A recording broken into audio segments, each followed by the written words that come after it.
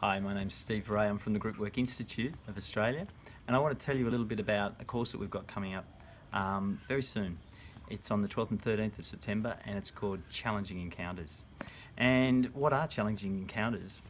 For us, it's all about what happens when you get yourself into a difficult situation that involves one or more people and you don't know what to do. And there can be so much going on when you have those kind of situations.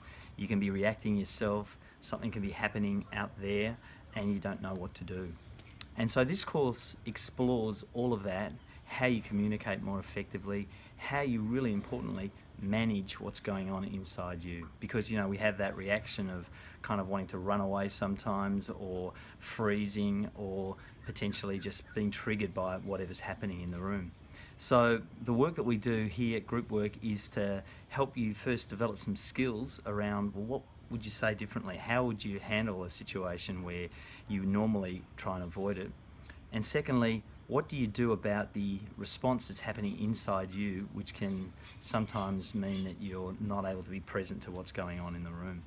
So they're the two key things that we do, and we give you a lot of opportunity during the, the course to practice this work. Uh, when we practice it, we kind of really embody it.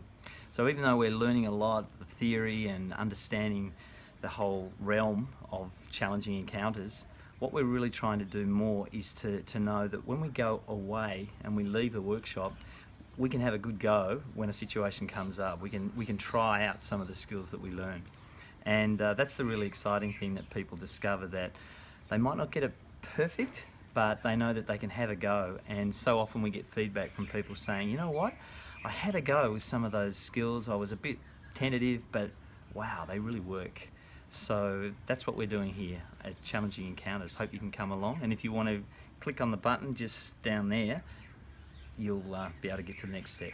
And you can phone us, of course, as well. So hope to see you there.